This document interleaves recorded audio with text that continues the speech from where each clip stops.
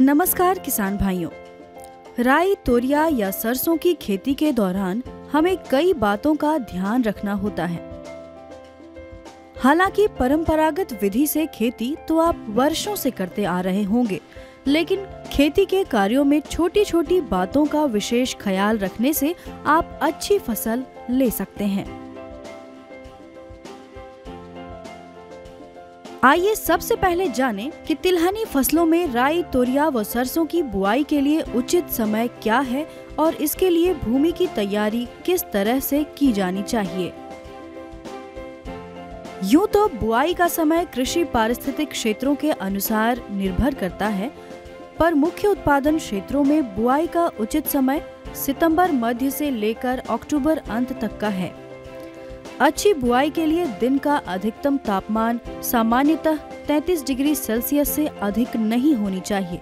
और अगर आपने बुआई में देर कर दी तो इससे उपज और तेल की मात्रा दोनों में ही कमी आती है। अत्यधिक अम्लीय एवं क्षारीय मिट्टी इसकी खेती के लिए अच्छी नहीं है। ये फ़सल समतल और अच्छे जल निकासी वाले बलुआई दोमट से दोमट मिट्टी में अच्छी उपज देती है।